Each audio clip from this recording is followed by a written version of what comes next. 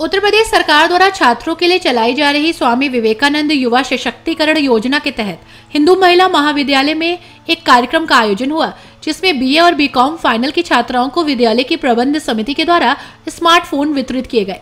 Smartphone पाकर छात्राओं के चेहरे खिल उठे। आपको बता दें कि शनिवार को शहर के कैराना रोड स्थित हिंदू महिला महाविद्यालय में प्रदेश सरकार द्वारा छात्रों के लिए चलाई जा रही कल्याणकारी योजना स्वामी विवेकानंद युवा सशक्तिकरण के तहत एक कार्यक्रम का आयोजन किया गया, जिसमें विद्यालय की प्रबंध समिति के पदाधिकारियों और अध्यापकों ने बीए फाइनल और बीकॉम फाइनल में पढ़ने वाली सभी छात्राओं को स्मार्टफ़ोन वितरित किए। स्मार्टफ़ोन पाकर छात्राओं के चेहरे खिल उठे। सभी छात्राएँ सरकार की प्रशंसा करती नज़र आई।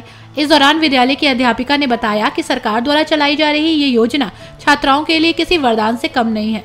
छात्राओं के द्वारा इसका सदुपयोग किया जाए तो उन्हें सफल होने से कोई रोक नहीं सकता। इस दौरान उन्होंने छात्राओं को ऑनलाइन क्लास के दौरान फ़ोन का उपयोग कैसे करना है, आदि बातों को समझाया। कार्यक्रम में सभी अध्यापक और छात्राएँ मौजूद रहीं।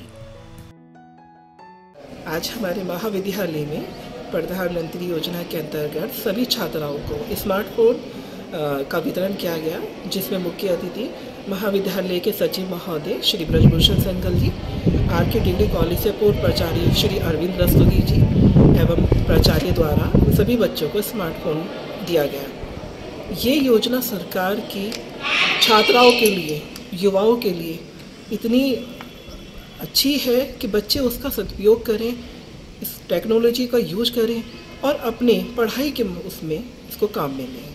मैं सरकार की इस योजना के लिए उन्हें हृदय से आभार व्यक्त करती हूँ कि उन्होंने छात्राओं के लिए इसके लिए सोचा और उन्हें स्मार्टफ़ोन की योजना के अंतर्गत फ़ोन और टैबलेट वितरित किए।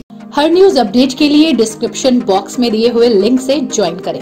रॉयल बुलेटिन का व्हाट्सएप ग्रुप और पाएँ हर खबर सबसे पहले अपने व्हाट्सएप पर। अपने आसपास की खबरों के लिए सब्सक्राइब करें रॉयल बुलेटिन और इस वीडियो पर कमेंट के ज़रिए अपनी राय देना ना भूलें।